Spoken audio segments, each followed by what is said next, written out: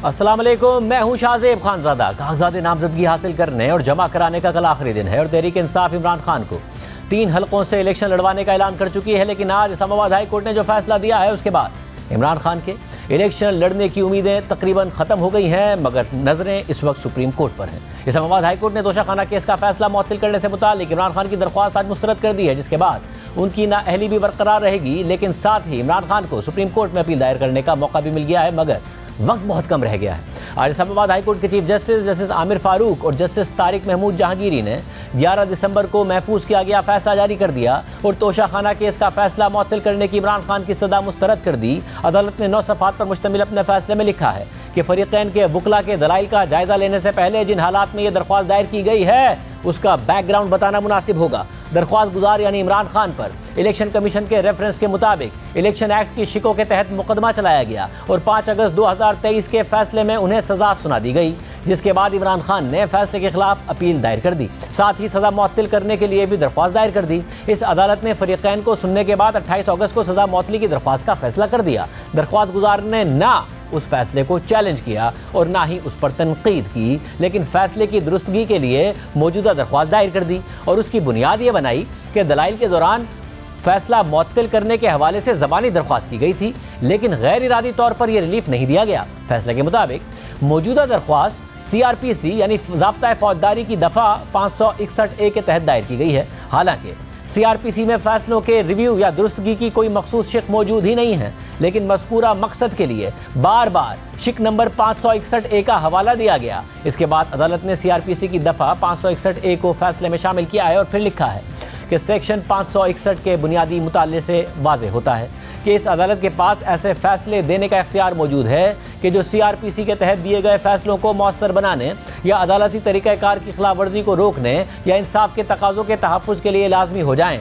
इस हवाले से फैसले में कुछ मिसालें दी गई हैं और फिर लिखा गया है कि दफ़ा पाँच सौ इकसठ ए को गलती को दुरुस्त करने, अदालती तरीक़ाकार की खिलाफ वर्जी या फिर इंसाफ के तकाज़ों के तहफ़ के लिए लागू किया जा सकता है। इमरान खान की दरख्वास्त को पढ़ने से वाज होता है कि यह सिर्फ़ सजा मौतली के लिए थी। तहम दरख्वास्त गुजार के वकील का मौकफ है कि फैसला मअतल करने के हवाले से भी जबानी दरख्वास्त दायर की गई थी, जिसे इस अदालत ने नादानिस्ता तौर पर हजफ कर दिया। अदालत ने लिखा है कि 28 अगस्त का फैसला ऐसी किसी दरख्वास्त की निशानदही नहीं करता और वाज तौर पर दरख्वास्त में की गई इस्तदा को ही बयान करता है। मस्कूरा फैसले को मॉडिफाई करने या फैसला मअतल करने के हवाले से दरख्वास्त गुजार यानी इमरान खान की दरख्वास्त पर कार्रवाई आगे बढ़ाने के लिए ये भी देखना होगा कि सीआरपीसी के सेक्शन 426 के तहत इस अदालत का दायरा इख्तियार है या नहीं है। इस हवाले से इमरान खान के वकील ने सुप्रीम कोर्ट के कुछ केसेस का हवाला दिया है, जैसा कि मखदूम जावेद हाशमी और अदनान ज़फ़र के केसेस। इन केसेस में सुप्रीम कोर्ट ने सजा मअतली के मामले पर बहस के बाद करार दिया कि सजा और फैसला दोनों मअतल कर दिए जाते हैं। तहम इस मसले के हवाले से वाहिद तफसीली फैसला अब्दुल करीम बनाम रियासत में दिया गया है। यहाँ पर अदालत ने मस्कूरा फैसले का मुतल पैराग्राफ रिप्रोड्यूस किया है और फिर लिखा है कि सुप्रीम कोर्ट ने वाजे तौर पर फाइंडिंग्स दी हैं कि फैसला मअतल नहीं हो सकता। इसके बाद लाहौर हाई कोर्ट के एक फैसले का हवाला देकर अदालत ने लिखा है कि सीआरपीसी के सेक्शन 426 के तहत सजा मअतली से फैसला मअतल नहीं होता है और ऐसी सूरत में मस्कूरा शख्स इलेक्शन लड़ने के लिए भी नाअहल होता है। इसके अलावा सरहद पार से आने वाले फैसलों पर इंसार करते हुए भी कहा गया कि मौजू केसेस में फैसला भी मअतल किया जा सकता है, लेकिन सरहद पार कानून जैसे इवॉल्व हुआ है वो हमारे यहाँ से मुख्तलिफ़ है। भारतीय सुप्रीम कोर्ट करार दे चुकी है कि मौजू केसेस में फैसला मअतल हो सकता है, लेकिन सिर्फ़ गैर मामूली हालात में और वो भी गैर मामूली इकदाम के तौर पर। और इसके लिए फैसला मअतल करने की मखसूस दरख्वास्त करना पड़ती है इस बारे में अदालत ने। भारतीय सुप्रीम कोर्ट के 2001 में दिए गए एक फैसले का हवाला दिया है। इसके बाद मजीद लिखा है कि बज़ाहिर इस फैसले की दुरुस्तगी की इस्तदा करने का बुनियादी ग्राउंड 8 अगस्त 2023 का नोटिफिकेशन है। दरख्वास्त गुजार यानी इमरान खान को सियासी जमात के सरबरा के तौर पर नाअहली के नतज का सामना है। इस अदालत को बताया गया कि एक आईनी दरख्वास्त के ज़रिए इस नोटिफिकेशन को लाहौर हाईकोर्ट में चैलेंज कर दिया गया है, जिसमें नोटिस भी जारी कर दिए गए हैं। मजीद ये कि जिस वक्त सजा मौतली की दरख्वास्त दायर की गई थी तो उस वक्त ये नोटिफिकेशन फ़ील्ड में था, लेकिन इसका कोई हवाला ही नहीं दिया गया और ना ही सदा की गई कि फैसला मौतली की रेमेडी भी फराहम की जाए और सीआरपीसी के सेक्शन 426 के तहत एक मखसूस दरख्वास्त दायर करके रिलीफ मांगा गया, जो दे दिया गया। तहम अब सीआरपीसी की एक अमूमी शिक, यानी पाँच सौ इकसठ ए के तहत एक गैर मामूली रिलीफ मांगा जा रहा है। सुप्रीम कोर्ट अपने एक फैसले में ऑब्जर्वेशन दे चुकी है कि मस्कूरा शिक सिर्फ़ उन गैर मामूली हालात में लागू की जा सकती है कि जब सीआरपीसी में कोई दूसरा तरीका या इजाला मौजूद ना हो, फैसले के मुताबिक लाहौर हाई कोर्ट के लार्जर बेंच ने सजा मौतली और फैसला मौतली में फ़र्क वाजह किया है और ज़ोर दिया है कि फैसला मौतली के लिए मखसूस दरख्वास्त दायर करना पड़ती है और गैर मामूली हालात को हाईलाइट करना होता है। इसके बाद ही अदालत केस को देखेगी, लेकिन दरख्वास्त गुजार यानी इमरान खान ने अपनी दरख्वास्त में ऐसा नहीं किया। सीआरपीसी के सेक्शन 426 के तहत जो दरख्वास्त दायर की जाती है, वो जमानत की दरख्वास्त की तरह ही होती है और ये तयशुदा कानून है कि जमानत की दरख्वास्त में दरख्वास्त गुजार के पास दस्तियाब तमाम ग्राउंड्स को अदालत में उठाना होता है और अगर ऐसा नहीं किया जाता तो फिर ये उन ग्राउंड से दस्तबरदार होने के मुतरदिफ होता है। दूसरी, या बाद की जमानत की दरख्वास्तें सिर्फ़ उस बुनियाद पर काबिल समात होती हैं कि अगर दरख्वास्त के लिए कोई नया ग्राउंड दस्तियाब हो, लेकिन मौजूदा दरख्वास्त में ऐसा कोई मामला नहीं उठाया गया और गलती को कवरअप करने के लिए दरख्वास्त दायर कर दी गई हता पिछली दरख्वास्त में भी कोई गैर मामूली हालात भी सामने नहीं रखे गए। हालाँकि जिस वक्त वो दरख्वास्त दायर की गई थी, उस वक्त 8 अगस्त के नोटिफिकेशन की शक्ल में ऐसे हालात मौजूद थे, लिहाजा मौजूदा दरख्वास्त काबिल समात नहीं है और इसे खारिज कर दिया जाता है। इस्लामाबाद हाई कोर्ट का ये अहम फैसला है, जिससे इमरान खान इलेक्शन के लिए अब भी नाअहल हैं। इसके अलावा आज पिशावर हाई कोर्ट ने इलेक्शन कमीशन को हुक्म दे दिया है कि कल, यानी बाईस दिसंबर से पहले पी टी आई के इंट्रा पार्टी इंतबात और इंतबी निशान के केस का फैसला करे वाज रहे कि इलेक्शन कमीशन पहले ही यह फैसला महफूज कर चुका है, लेकिन पिशावर हाई कोर्ट ने इसे हतमी फैसला सुनाने से रोका हुआ था और आज खुद पिशावर हाई कोर्ट ने 22 दिसंबर तक इलेक्शन कमीशन को फैसला सुनाने का हुक्म दे दिया है। आज दौरान समाज चेयरमैन पीटीआई बैरिस्टर गौहर ने अदालत से कहा कि कल तक इंतबी निशान ना मिला तो हमारे उम्मीदवार आज़ाद तस्वुर होंगे। अगर इंट्रा पार्टी इंतबात को तस्लीम ना किया गया तो बल्ले का इंतबी निशान नहीं मिलेगा। इलेक्शन कमीशन मामला को ताखिर का शिकार करता आ रहा है। तमाम सियासी जमातों को छोड़कर एक पार्टी के साथ ऐसा सलूक हो रहा है। हमें इंतबात से बाहर करना चाहते हैं। इलेक्शन कमीशन ने अभी तक हमारे इंट्रा पार्टी इंतबात वेबसाइट पर जारी नहीं किए तो अदालत ने सवाल किया। कि इंट्रा पार्टी इंतबात वेबसाइट और गेजेट में शाया ना करने से क्या नुकसान होता है? तो बैरिस्टर गौर खान ने कहा कि फिर हमें हमारा इंतबी निशान नहीं दिया जाएगा। समात के बाद अदालत ने फैसला महफूज कर लिया था, जिसे आज ही सुनाते हुए इलेक्शन कमीशन को 22 दिसंबर तक इस हवाले से फैसला करने का हुक्म दे दिया गया है और पीटीआई की दरख्वास्त निपटा दी गई है। तहरीक इंसाफ मुसलसल लेवल प्लेइंग फ़ील्ड ना मिलने की शिकायत कर रही है। आज इस हवाले से chairman PTI barrister Gauhar Khan ने सुप्रीम कोर्ट से रजू कर लिया है और आइन के आर्टिकल एक सौ चौरासी तीन के तहत दरख्वास्त दायर कर दी है, जिसमें मौका अख्तियार किया गया है कि सुप्रीम कोर्ट तहरीक इंसाफ को लेवल प्लेइंग फ़ील्ड और शफाफ इंतबात के लिए फरीकैन को हिदायत जारी करे। तहरीक इंसाफ के कारकुनान और रहनुमाओं को हिरासा करने से भी रोका जाए, चेयरमैन पीटीआई ने अपनी दरख्वास्त में वफाकी हुकूमत, इलेक्शन कमीशन और सूबाई हुकूमतों को फरीक बनाया है। इसके अलावा तहरीक इंसाफ की जानब से इस तरह की दरख्वास्त खुद इलेक्शन कमीशन में भी दायर कर दी गई है जिसमें पीटीआई के रहनुमा शुएब शाहीन दरख्वास्त गुजार हैं। इस पूरी सूरत पर बात करेंगे तहरीक इंसाफ के रहनुमा और इमरान खान के वकील। इस केस में भी वकील लतीफ़ खोसा हमारे साथ मौजूद हैं। खोसा साहब, बहुत शुक्रिया हमें ज्वाइन करने के लिए। ज़ाहिर कल ही पार्टी ने अनाउंस किया और ये अनाउंस किया कि तीन हल्कों से इमरान खान साहब इलेक्शन लड़ेंगे और उम्मीद थी कि इस्लामाबाद हाई कोर्ट से जो फैसला आएगा, उसमें सज़ा मौतली तो है, मगर कन्विक्शन भी जो है वो सस्पेंड हो जाएगी, जिसकी वजह से वो इलेक्शन के लिए अहल हो जाएँगे। मगर ऐसा नहीं हुआ है। और इस्लामाबाद हाई कोर्ट ने कहा कि जब आपने पहले रिटर्न दरख्वास्त की थी, उसी में ये दरख्वास्त भी करनी चाहिए थी। नहीं की गई, कुछ गलतियों की निशानदेही कर रही अदालत। क्या आगे हमत अमली होगी बाप की देखें हम कोई नवाज़ शरीफ तो हैं नहीं कि अदालतें चश्मबरा बैठी हों हमारे लिए। वैसे मैंने ख़ुद चूँकि आर्ग्यू किया था, मैंने कहा कि अगरचे ये उसमें सेवन रह गया है, लिखा नहीं है, लेकिन जो ऑर्डर अपील्ड अगेंस्ट है, वो भी सस्पेंड कीजिएगा मअतल कीजिएगा 426 की मनता यही है। लेकिन, बावजू उन्होंने वो उस वक्त प्रेयर को रिप्रोड्यूस करके द प्रेयर इज़ ग्रांटेड कर दिया। हालाँकि वो जूरिस्डिक्शनल इनकैपेसिटी थी। वो जो डिप्टी डिस्ट्रिक्ट अपना इलेक्शन कमिश्नर इस्लामाबाद था, वो उसकी वो कंप्लेन थी, जो है, वो बदू इसकाक थी और जो ट्रायल था सेशन जज का, वो भी बिला अख्तियार था। सो जूरिस्टिक्शन इनकैपेसिटी ये कन्विक्शन थी ही वॉइड वो सारा कुछ कन्विक्शन लिख कर और फिर सेंटेंस सस्पेंड की। और मेरी वो जो ज़बानी मारूजात थी, क्योंकि फौजदारी में कोई ऐसी चीज़ नहीं है कि अगर आपने लिखी नहीं है तो आप उसको कह नहीं सकते हैं। मैंने बबांग दोहल कहा और ये अब इस ऑर्डर में भी लिखा हुआ है। और फिर कह दिया कि चूँकि इन्होंने कहा नहीं है, लिहाजा ये माने हैं। ये माने माने कोई नहीं होता है, इसलिए कि ये जजमेंट नहीं होती है। ये इंटरम ऑर्डर्स होते हैं। ऑर्डर्स आर ऑलवेज उसकी जो है तस्ही की जा जा सकती है। और मैंने यही कहा कि अगलबन ये क्लैरिकल मिस्टेक है और आपने चूँकि फ़ैसला बाद में सुनाया तो इसलिए शायद आपसे सेवन रह गया ये मेरी मारूजात लिखने को। वैसे तो अदालत ने अदालत ने ज़ाहिर जो हवाले भी दिए हैं और अदालत यही कहती नज़र आ रही है कि एक तो कैसे कोई गैर मामूली हालात नहीं है और इसको जमानती तस्वुर किया जाएगा जिसमें कन्विक्शन की जगह पर रहेगी। तो आप क्या उम्मीद कर रहे हैं? सुप्रीम कोर्ट से आप रिलीफ ले लेंगे जब सुप्रीम कोर्ट जाएँगे? ये उम्मीद कर रहे हैं? वो सुबह कर रहे हैं। खानदार साहब सुबह कर रहे हैं, लेकिन एक बात बताइए, इससे ज़्यादा गैर मामूली क्या हालात हो सकते हैं कि जिस सज़ा को आप सस्पेंड कर रहे हो मतल कर रहे हो, उसी की पादाश में वो नाअहल कर दिया गया है इलेक्शन कमीशन ने। पाँच अगस्त को ये फैसला किया अभी तीस दिन इंतज़ार नहीं किया इलेक्शन कमीशन ने। तीस दिन तो म्याद थी ना। और ये आठ तारीख को तीन दिनों के बाद ही नाअहल कर दिया गया उसी सज़ा की बुनियाद पर। और जब इस्लामाबाद हाई कोर्ट ने हमें तो पता ही नहीं, नहीं था ना कि ये इलेक्शन कमीशन ने आठ तारीख को ये कर दिया है। हमने तो वो चूँकि अपील दायर की अपील के साथ वो सस्पेंशन ऑफ़ सेंटेंस का था। लेकिन जब ये नोटिस में आया कि जनाब इसकी बुनियाद पर तीस दिन भी इंतज़ार नहीं किया गया और किया गया तो फिर हमने एक एप्लीकेशन दी कि इसको जो है, की जाए। इससे ज़्यादा अहम क्या हो सकता है? कि आप उसके बुनियादी हकूक़ को सलब कर रहे हैं, इमरान खान के बुनियादी हकूक़ को, जबकि अपील जेर तजवीज़ है और अपील तसलसल होता है हमेशा ट्रायल का। और वो कन्विक्शन अभी उसने कन्फर्मेशन लेनी है हाई कोर्ट से। हाई कोर्ट उसको मुअत्तल कर चुकी है। बदकिस्मती से chief justice Islamabad high court ने हर फैसला इमरान खान के ख़िलाफ़ किया है और इतनी लंबी हमने कंप्लेंट लिखी है इमरान खान ने खुद, कि खुदारा मोहतरम चीफ जस्टिस साहब हमारे केसेस न सुने बेहतर है। लेकिन ये सुप्रीम कोर्ट से मुअत्तल हो जाएगा इसलिए ऐसी कोई बात नहीं है कि इस फैसले ने हतमी और, और आप, आप, आपने कहा कि सु, सुप्रीम कोर्ट से मुअत्तल हो जाएगा। अब आज पिशावर हाई कोर्ट ने भी इलेक्शन कमीशन को कहा है कि जो इंतबी निशान का मामला और इंटर पार्टी इलेक्शन का उसका फैसला सुना दें बाईस तारीख दी है जो कि कल है।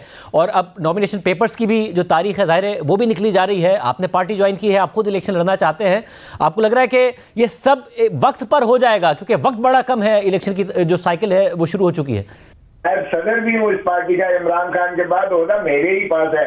वो इमरान खान साहब ने और पार्टी ने मुझे ये नॉमिनेट भी किया है एज सीनियर वाइस प्रेसिडेंट तो मुझे कोई ऐसा शायदा नहीं है। देखे पीटीआई इस वक्त मजलूम भी है इस वक्त मजलूम भी है, सियासी शहीद भी है और इस वक्त अवाम की, लोगों की, दिलों की धड़कन है।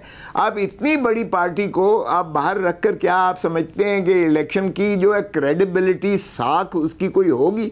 या वो चल सकेगी जो हुकूमत आएगी? या वो पायदार होगा जो आप निज़ाम देंगे? क्यों आप मुल्क को धकेल रहे हैं, फिर एक ऐसी उसमें धकेल रहे हैं कि बेयकीनी की कैफियत और अनसर्टिनटी रहे। क्योंकि जब तक इकोनॉम पॉलिटिकल स्टेबिलिटी नहीं होगी। हेलो जी जी खोसा आवाज़ आ रही है आपको? जी जब तक पॉलिटिकल स्टेबिलिटी सर नहीं होगी उस वक्त तक इकोनॉमिक माशी स्टेबिलिटी साहब इस बात में कोई दो राय नहीं है। जो बात खोसा साहब जो बात आप कर रहे हैं इसमें दो राय नहीं है। तहरीक इंसाफ जैसी मकबूल जमात को बाहर रखा जाए तो वाकई ये भी बात आपकी दुरुस्त है कि इलेक्शन की क्रेडिबिलिटी नहीं होगी। मगर अमली तौर पर आप कानूनी मामला को भी जानते हैं बतौर सीनियर सियासतदान पाकिस्तान की तारीख को भी जानते हैं। आपको अमली तौर पर लग रहा है कि सुप्रीम कोर्ट से फौरी रिलीफ मिल जाएगा और या कोई ऐसा फैसला नहीं आएगा इलेक्शन कमीशन की तरफ़ से कि बल्ले का निशान पार्टी को ना मिले नॉमिनेशन पेपर्स भी फाइनल हो जाए फ़ाइल हो जाएँगे, बल्ला भी होगा, इमरान खान साहब को भी कोई रिलीफ मिल जाएगा और वो इलेक्शन लड़े होंगे, ये सब हो पाएगा? देखें हमने सारे बाकी मुतबादल उसके भी प्लान्स बना रखे हैं। सो इससे कोई आपको याद होगा कि ये स्क्रिप्ट बदकिस्मती से एक ही होता है। पहले भी इन्होंने जनरल परवेज़ मुशरफ ने बेनज़ीर साहिबा को और नवाज़ शरीफ साहब को बाहर रखने के लिए माइनस वन दोनों पार्टी के साथ ये मज़ाक खेला गया था। हमने सारी रात बैठकर चार पीस बना के पाकिस्तान पीपल्स पार्टी पार्लियामेंटेरियन बनाई और उसमें मखदूम अमीन फ़हीम साहब को सदर बनाया और राजा परवेज़ अशरफ सेक्रटरी जनरल बने। मोहतरम नवाज़ शरीफ साहब जो बाइकआउट करना चाहते थे, हमने माने किया कि बाइकआउट उन्नीस का काफ़ी हो गया, हम तो बाइकआउट नहीं करेंगे। उन्होंने भी फिर अपनी जगह पर मोहतरम जा, मखदूम जावेद हाशमी साहब को सदर बनाया और राजा जफरुल हक साहब को चेयरमैन बनाया। वो साइकिल की जगह जो है वो फिर शेर लेकर आ गए। हम तलवार की जगह पर तीर लेकर आ गए और फिर भी पार्टी जो है वो इलेक्शन में लड़ी। ना तो मखदूम अमीन फ़हीम का भी सदर रहे, यानी उनका अहकाम तो बीबी ही करती रहीं। और इसी तरह ना ही मखदूम जावेद आशमी वो भी मोहतरम नवाज़ शरीफ साहब ही पार्टी के जो है सरबरा प्रैक्टिकली एंड डी फैक्टो रहे। अब भी इनकी तस्कीन तो हो चुकी, इमरान खान को तो बाहर कर दिया। इंट्रा पार्टी जो है इलेक्शन इलेक्शन कमीशन ने एक इस अंदाज किया बीस दिन दे, बीस दिन खुद देकर। और फिर कह कह दिया कि अब अब को भी चैलेंज कर दिया। देखें, ये 1988 सुप्रीम कोर्ट में मोहतरमा बेनज़ीर भुट्टो के केस में बातें तय हो चुकी। कमीशन को इंट्रा पार्टीज़ पर एक हेडमास्टर बन के बैठने का कोई इख्तियार नहीं है। वो ये कहे कि इसको सदर होना चाहिए ये सदर गलत बनाया है ये जो है कागजात मगर मगर साहब क्या आपने जब कहा कि हमत अमली आपके पास तैयार है मगर वही मैं फिर बात करूँ कि जो वक्त का मसला है क्योंकि खुद गौर खान साहब ने कहा कि हमारे जो सारे उम्मीदवार हैं वो फिर इंडिपेंडेंट हो जाएँगे। तो वो हमत अमली फौरी तौर पर अमल दरामद उस पर हो जाएगा कि आपको एक पार्टी हो, सिंबल हो, जिसको आप कैंपेन कर सकेंगे, जी, ये हमारे सारे उम्मीदवार हैं और इस सिंबल के तहत इलेक्शन लड़ रहे होंगे, ना कि वो आज़ाद होंगे। अगर ऐसा कुछ होता है। देखिए, एक, आपको याद होगा, वैसे तो ये कहना भी नहीं चाहिए, जो प्लान्स होती हैं, हमेशा सीने के साथ रखना चाहिए, लेकिन चूँकि बेस्ट गौर कह चुका, कह दिया है चूँकि उनका अभी इतना तजर्बा नहीं है जितना मेरा है। लेकिन बात यह है कि देखें मायूसी फैलाओ मुहिम नहीं होनी चाहिए। कब तक इस मुल्क के साथ फ्रॉड करते रहोगे? कब तक इस मुल्क को जो है तबाही के दहाने पर हम ले जाते रहेंगे? कब तक हम जो है अपनी जो इकदार को दुरुस्त नहीं करेंगे और अपने निज़ाम को क्यों कर, अपना ठीक नहीं करेंगे? और क्यों कर हम चाहेंगे कि गैर इस मुस्तकम रहे हमारा निज़ाम? देखिए, रियासत नहीं है। आवाम की अगर आप देखें तो आर्टिकल सात में आवाम को मुखदर किया गया है। रियासत जो है, अवाम के नुमाइंदों से मुतरश होने वाले पार्लियामान और वहाँ से बनने वाली हुकूमतें, ये है रियासत। और रियासत की वफादारी लॉयलिटी टू द स्टेट अवाम के साथ वफादारी और आइन की जो है ताबेदारी। And obedience to the constitution is the inviolable obligation of every citizen of Pakistan article पाँच में। उसके सारे यानी आर्मी चीफ भी अवाम का पाबंद है अवाम ही की टैक्सेस पे लेता है चीफ ऑफ़ ये जो चीफ जस्टिस ऑफ़ पाकिस्तान भी और प्रेसिडेंट भी प्राइम मिनिस्टर भी सभी ये उन पर वाजिब और लाजिम है कि वो अवाम की वफादारी में और आइन की पासदारी करें। और कायद अजम ने तो 1948 में कहा था देखें हुकूमतें भाई आती जाती रहेंगी। आप आवाम के टैक्सेस से आपको तनख्वाहें और मराहत मिलती हैं। आपका काम है आवाम की वफादारी और ताबेदारी करना। सो हम क्यों रियासत को जो है बहुत शुक्रिया बहुत शुक्रिया। खुद आपकी गुफ्तु आपने सुनी सूरत हाल कहाँ जा रही है? तजिया लेंगे एक ब्रेक के बाद। सूरत हाल किस तरफ़ जा रही है? इमरान खान मैदान में नहीं होंगे तो मामला आगे कैसे बढ़ेगा? या फिर उन्हें रिलीफ मिलेगा? और तहरीक इंसाफ को बल्ले का निशान भी मिलेगा। हमारे साथ मौजूद हैं सीनियर साहब तो ज़िक्र। सोहेल बड़ाई साहब और मुजीबुर रहमान शामी साहब, आप दोनों का बहुत शुक्रिया। शामी साहब, आज ज़ाहिर कल ही अनाउंस किया था पीटीआई ने कि तीन हल्कों में इमरान खान साहब इलेक्शन लड़ेंगे। आज फैसला आ गया कि उनकी सज़ा मअतल ज़रूर थी मगर जो कन्विक्शन है वो अपनी जगह पर है, इसलिए वो इलेक्शन अब नहीं लड़ सकते हैं। कल इलेक्शन कमीशन मुमकिन तौर पर बल्ले का निशान होगा, नहीं होगा, इसका भी फैसला दे सकता है। क्या वाज नज़र आ रहा है कि अगले इलेक्शन में कोई चांस नहीं है इमरान खान साहब का भी और तहरीक इंसाफ का भी? देखिए इमरान खान साहब के बारे में जो फैसला आया है इस्लामाबाद हाई कोर्ट का आ, उनके पास अपील का एक हक तो मौजूद है। वो सुप्रीम कोर्ट जा सकते हैं और अगर सुप्रीम कोर्ट से कोई रिलीफ मिल गया तो फिर तो वो इंतबात में हिस्सा ले सकेंगे। वगरना फिर ज़ाहिर है उनका रास्ता बंद हो जाएगा और जहाँ तक बल्ले के निशान का ताल्लुक है आ, वो भी इलेक्शन कमीशन कल फैसला करेगा। अब बल्ले का निशान उनको मिलता है या नहीं मिलता और या तहरीक इंसाफ एक पार्टी के तौर पर इंतबात में हिस्सा ले सकती है या नहीं ले सकती, अब ये कल फैसला हो जाएगा। उसके बाद वो अपील कर सकते हैं, लेकिन वक्त जो है तेज़ी से उनके खिलाफ जा रहा होगा। तो हो सकता है किसी रजिस्टर्ड पार्टी के साथ उनको कोई मामला हो जाए और उसके प्लेटफॉर्म से फिर टिकट जारी कर सके। ये भी मुमकिन है। आप शामी साहब कैसे, आप वड़ाई साहब, आप कैसे देख रहे हैं सूरत हाल को? देखें, जो आइडियल सूरत हाल है, वो तो है नहीं। आइडियल सूरत हाल तो यही होनी चाहिए कि सबको लेवल प्लेइंग फ़ील्ड मिले। इमरान खान साहब भी, नवाज़ शरीफ भी, जरदारी साहब भी फजलरहमान भी, और भी सब एक्टर्स जो हैं पॉलिटिकल उनको बराबर का मौका दिया जाए। लेकिन इस, जो इस वक्त अमली सूरत हाल है, उसमें तो ऐसा नज़र आ रहा है कि पीटीआई जो है उसको बहुत डिसएडवांटेजेस होंगे। एक तो मेरा ख्याल है कि इमरान खान साहब जो हैं, उनको अल्टीमेटली ऐसा नहीं लगता कि उनको ये मौका दिया जाएगा कि वो कॉन्टेस्ट कर सकें। और इसी तरह जो पीटीआई के लोग हैं, उनको भी शायद फ्री हैंड नहीं मिलेगा बहुत से लोगों को कि वो कॉन्टेस्ट कर सकें या जो है वो आज़ादी से नून का मुकाबला कर सकें। और वीकेस्ट जो कैंडिडेट है, वही आएँगे। तो इस वक्त तो अमली सूरत हाल या अमली नक्शा ये नज़र आता है। लेकिन ये ज़ाहिर है आइडियल नहीं है, ये काबिल अमल भी नहीं है, इसमें बड़े डिसएडवांटेजेस भी हैं। लेकिन इसके बावजूद भी मैं समझता हूँ कि इलेक्शन एक बहुत बड़ी अपॉर्चुनिटी होती है। जो भी कर लिया जाए, फिर भी तहरीक इंसाफ जो है वो पार्लियामेंट में जगह बनाएगी तार पार्लियामेंट में आएगी और जब पार्लियामेंट में कोई जमात आती है तो उसकी आवाज़ भी होती है, चाहे वो अपोजिशन में बैठी हो, चाहे थोड़ी भी हो, फिर भी उसकी आवाज़ होती है। तो पीटीआई को भी जिस तरह पीपल्स पार्टी ने चंद नशस्तें लेके पार्लियामेंट में बैठ गई थी, मुश्किल वक्त आया था, नून पे भी मुश्किल वक्त आया था तो वो भी चंद नशस्तें लेके पार्लियामेंट में बैठ गई थी।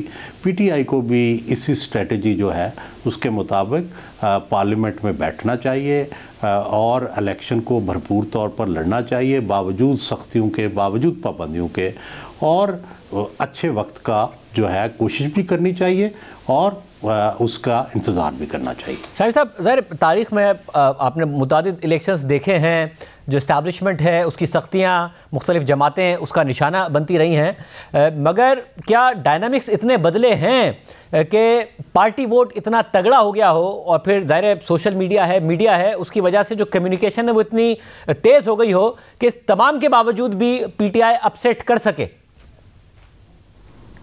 देखिए पीटीआई के लिए तो मुश्किल ये है क्या वो जमात के तौर पर इंतबात में हिस्सा ले सकेगी या नहीं ले सकेगी?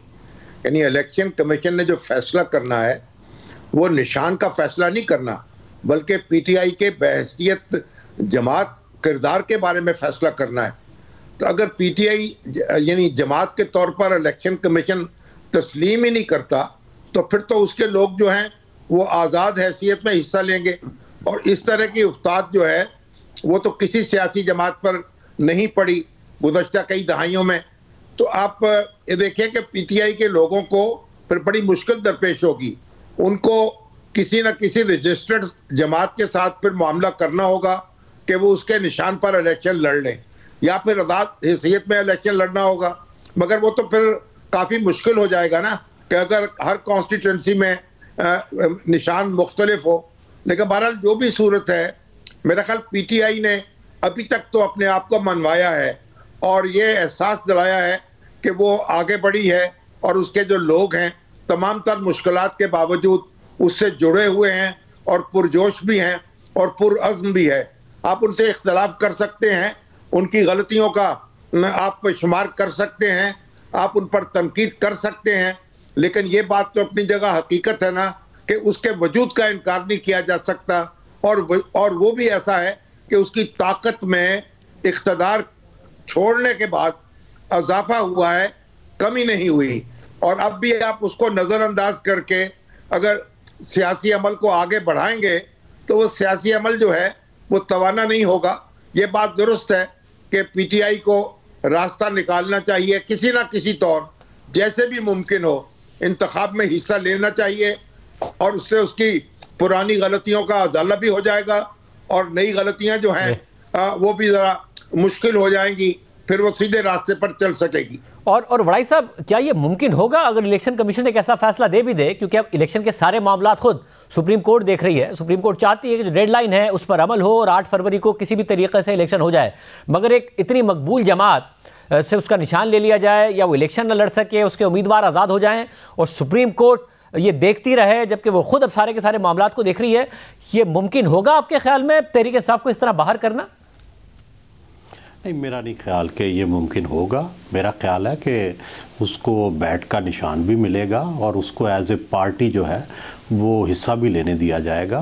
आ, मेरा ये ख्याल है कि ये जो दबाव है ये रहेगा और आखिरी आठ आठ, दस दिन में ये धुंध जो है वो साफ़ भी कर दी जाएगी, क्योंकि ज़ाहिर है इलेक्शन की एक क्रेडिबिलिटी भी है इंटरनेशनली भी देखा जा रहा है, लोग भी देखा जा रहे हैं और फिर जो जीतने वाले हैं उनको भी मज़ा नहीं आएगा और जो हारने वाले हैं उनको तो ज़ाहिर है बिल्कुल ही ये काबिल कबूल नहीं होगा। तो मेरा ख्याल है कि नहीं, इस तरह तो नहीं करना चाहिए इतनी ज़्यादती लेकिन वैसे भी देखें, इस वक्त की जो सूरत हाल है ना जो कुछ हो चुका है, उससे भी ऐसे लगता है कि नून लीग ही जीत जाएगी।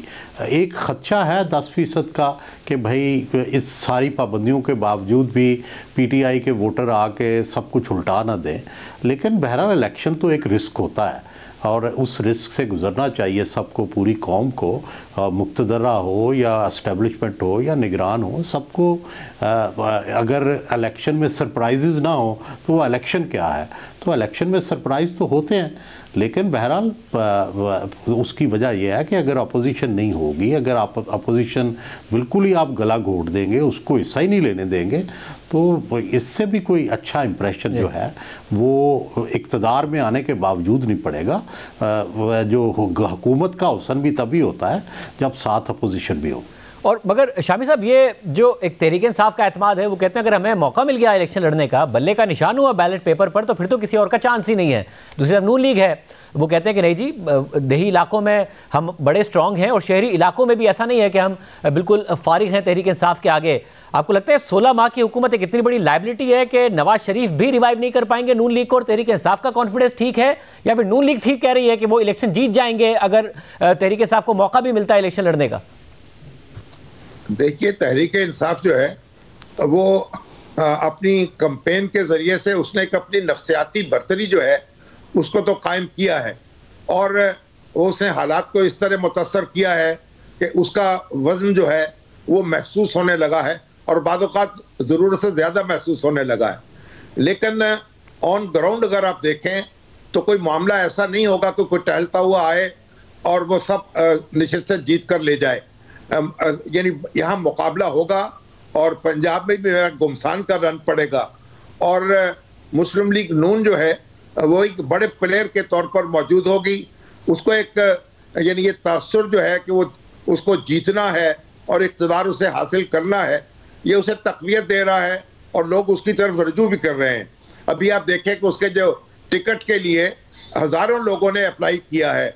अब अगर एक तासर मौजूद ना हो, एक ताकत का एहसास ना हो तो कॉन्स्टिट्यूंसी के जो लोग हैं, वो बड़ी तादाद में टिकट हासिल नहीं करते। वो इसे पैसे का ज़्यादा समझते हैं। तो इसका मतलब ये है कि पीटीआई की अपनी जगह स्ट्रेंथ है, लेकिन मुस्लिम लीग नून जो है, उसके भी हाथ पाँव टूटे हुए नहीं हैं। वो भी मुकाबला करेगी और क्या बहीद है कि वो आगे निकल जाए और पीटीआई जो है वो उसको देखती रह जाए। आप बताइएगा बड़ाई साहब, अगर पीटीआई को इलेक्शन लड़ने का मौका मिलता है तो कोई चांस है नून लीग का?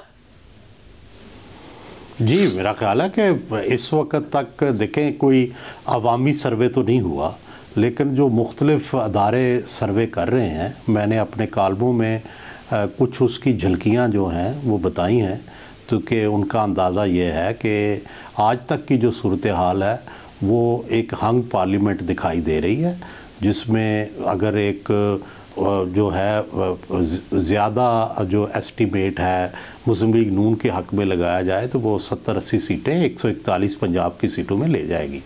और अगर मोहतात अंदाज़ा लगाया जाए तो फिर भी साठ सत्तर सीटें वो जीत जाएँगे। और इसी तरह पीपल्स पार्टी जो है, वो पचास से लेकर साठ तक सीटें जीत जाएगी। तो वो, इस वक्त तक जो अदारे हैं, उनका ये अंदाज़ा है कि ये एक कोलेशन गवर्नमेंट बनेगी। लेकिन जो नून लीग के लोग हैं, उनका ख्याल है कि नहीं, हम जो है सिंपल मेजॉरिटी अचीव कर लेंगे और सिंपल कराची से भी हम दो चार सीटें लेंगे और अपने इतिहादियों के साथ मिल के हम सिंपल मेजॉरिटी जो है वो अचीव कर लेंगे।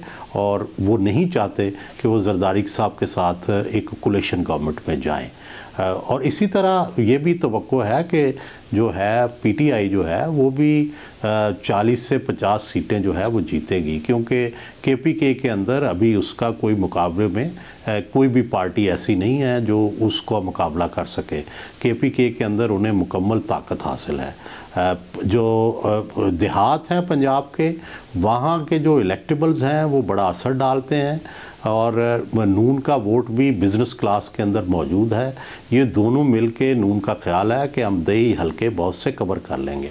लेकिन शहरों के अंदर उन्हें भी परेशानी नज़र आ रही है क्योंकि जो बड़े शहर हैं, वहाँ पर जो है पीटीआई के लोग आपस में कनेक्टेड भी हैं और उनके, उस दिन इस बात की तो भी की जा रही है कि वो अपना रिवेंज लेने या अपने जज्बात का इजहार देने के लिए निकलेंगे।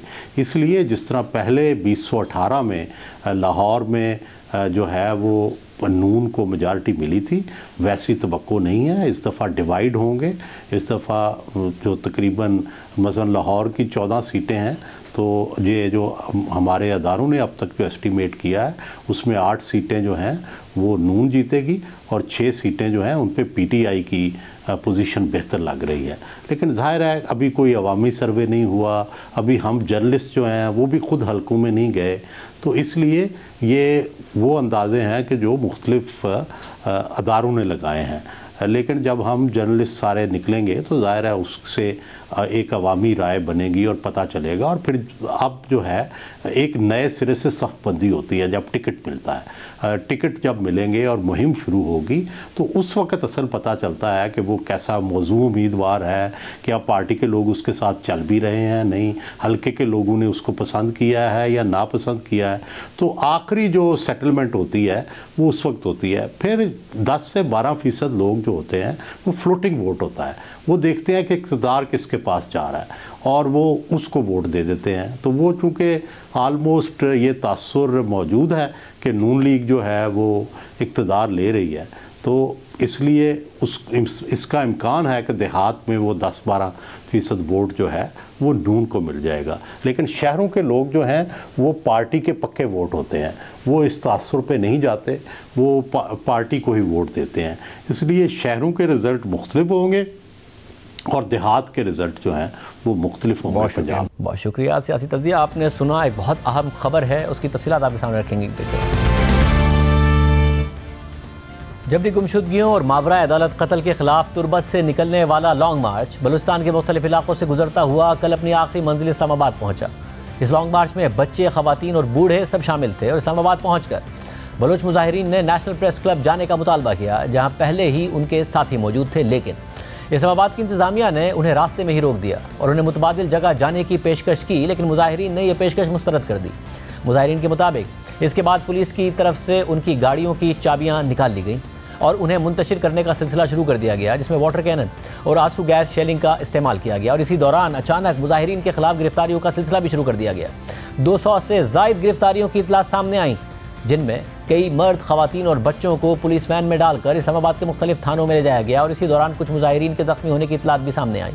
और फिर इन गिरफ्तारियों के खिलाफ बलूचिस्तान भर में आज एक बार फिर मुजाहरे शुरू हो गए। Human rights commission of Pakistan और एमनेस्टी इंटरनेशनल समेत इंसानी हकूक की दीगर तंजीमों ने मुजाहरीन पर तशद करने की मजम्मत की, जिसके बाद आज वजी अजम ने, निगरान वजी अजम ने मुजाहरीन से मुजाकर से मुतल फवाद हसन फवाद की सरबराही में हुकूमती कमेटी तश्कील दी, जिसने बलोच यकजहती कमेटी के अरकान से मुलाकात करके प्रेस कॉन्फ्रेंस की और मौका अख्तियार किया कि वजी अजम की हिदायत पर तमाम खवतिन और बच्चों को रिहा कर दिया गया है। और वो तमाम मर्द जिनकी शनाख्त हो गई है, उन्हें भी रिहा कर दिया गया है। साथ ही, आज फवाद हसन फवाद ने कहा कि बलुस्तान से आने वाले मुजाहरीन ने पुलिस पर पथराव नहीं किया, लेकिन इस्लामाबाद से कुछ लोग मुजाहरीन में शामिल हो गए और उन्होंने सूरत हाल को ख़राब करने की कोशिश की। जो लोग बलूचिस्तान से आए, उनकी तरफ़ से कोई ऐसी शरकतेजी नहीं की गई, लेकिन कुछ लोग जो मुकामी तौर आने से पहले अपने चेहरे जो है, वो ढांपे हुए थे। वो ढांपे हुए चेहरों के साथ आए और जो भी फिर उसके बाद वहाँ पे उन्होंने पथराव किया और दूसरी चीज़ें की, फिर जो फोर्स उन्होंने को गिरफ़्तार किया। बार बार ये रिक्वेस्ट की जा रही थी कि ये बहुत बेहतर होगा कि अगर आप लोग किसी ऐसी जगह पे आके अपना धरना दें जिसको हम फुली तौर पे प्रोटेक्ट कर सकें। ये जो मशवरा था, वो उन्होंने नहीं माना और जब वो आगे आए तो फिर वही हुआ कि जो लोकल एलिमेंट था उन्होंने उसको एक्सप्लॉयट किया और एक ऐसी सिचुएशन क्रिएट कर वजी अजम की हदायत पे ये फैसला हुआ कि तमाम औरतों और बच्चों को बगैर किसी इस्तना के पूरी तौर पर रिहा कर दिया गया। इसी तरह तमाम उन मर्दों को जिनकी शनाख्त हो चुकी है उनको भी फौरी तौर पर रिहा कर चुके हैं। आम बात यह है कि कल मुजाहरीन पर पुलिस के क्रैकडाउन और गिरफ्तारियों के खिलाफ लॉन्ग मार्च के मुंतजमीन ने वकील ईमान मजारी के ज़रिए आज इस्लामाबाद की मकामी अदालत से रुजू किया था और दरख्वास्त की थी। कि गिरफ़्तार मुजाहरीन को फौरी रिहा करने का हुक्म दिया जाए, जिसके बाद मकामी अदालत ने दरख्वास्त में नामजद तमाम मुजाहरीन को रिहा करने का हुक्म दे दिया। साथ ही आज इस्लामाबाद हाईकोर्ट में भी बलोच मुजाहरीन की गिरफ्तारियों के खिलाफ दरख्वास्त पर समात हुई है, जिसमें chief justice justice Aamir Farooq ने रिमाज दिए कि पाकिस्तानी शहरी हैं और एहतजाज तो उनका हक है।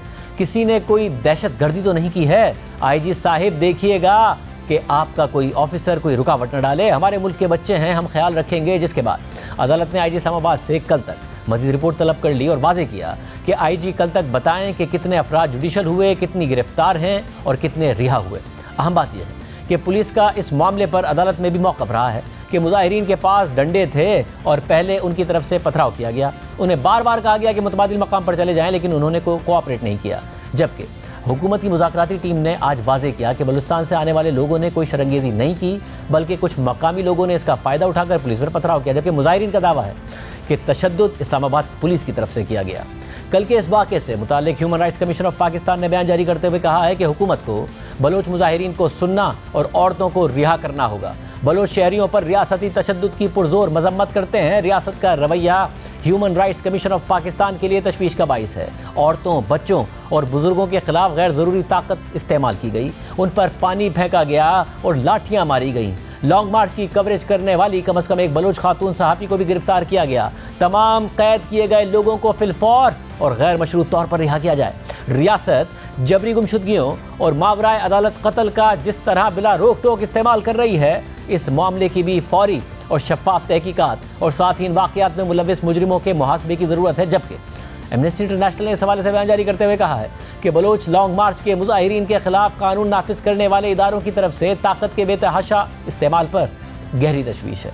एमनेस्टी ने उन वीडियोस का जायजा लिया है जिनमें मुजाहरीन के खिलाफ वाटर कैनन, आँसू गैस और लाठियों का इस्तेमाल दिखाया गया है। आज़ादी तहफ़ और एहतजाज के हकूक़ की खिलाफ वर्जी करते हुए दर्जनों अफराद को हिरासत में लिया गया और मुतद ज़ख्मी हुए जिनमें खवतिन, नाबालिग और बूढ़े शामिल हैं। हम मुतालबा करते हैं।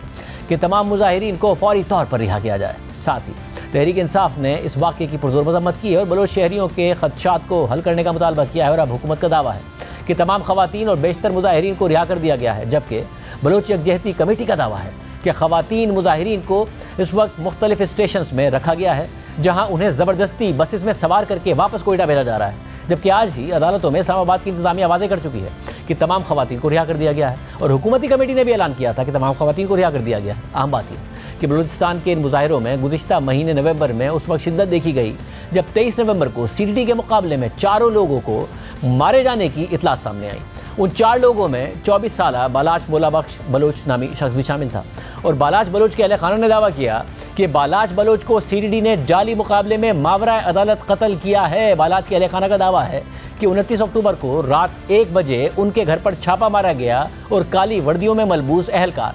बालाज बलोच को जबरी तौर पर अपने साथ ले गए, जिसके बाद 20 नवंबर को बालाज बलोच के खिलाफ दहशतगर्दी की कार्रवाई में मुलविस होने की एफआईआर सामने आ गई और फिर 21 नवंबर को बालाज बलोच को तुरबत की अदालत में पेश किया गया और अदालत ने उन्हें 10 रोजा जिस्मानी रिमांड पर सीटीडी के हवाले कर दिया। लेकिन रिमांड लेने के एक दिन बाद ही तेईस नवंबर को तीन लोगों के साथ बालाज बलोच की लाश तुरबत के एक अस्पताल में पहुँचा दी गई। जबकि सीटीडी ने पूरे मामले पर अपनी रिपोर्ट में दावा किया है कि रवा साल बीएलए और बीएलएफ ने तुरबत में एक सौ अट्ठावन दहशतगर्दी की कार्रवाइयाँ की, जिनमें छियासठ अफराज शहीद और तीस से ज़्यादा जख्मी हुए और एक माह में मुख्तलिफ़ ऑपरेशन में आठ इंतहाई मतलूब दहशतगर्दों को गिरफ़्तार किया गया, जिनमें नवंबर में इंतहाई मतलूब दहशतगर्द बालाज बल मौला बख्श को गिरफ़्तार किया। और गिरफ्तारी के वक्त दहशत गर्द बालाज से पाँच किलो बारूदी मवाद बरामद हुआ। बालाज की निशानदही पर पसनी के करीब ऑपरेशन किया, जहाँ दहशतगर्द छुपे हुए थे और ऑपरेशन के दौरान बालाज अपने दहशतगर्द साथियों की फायरिंग से मारा गया। और ऐसे दहशतगर्दों के लिए बलोच यकजहती काउंसिल का एहतजाज फहम से बालतर है।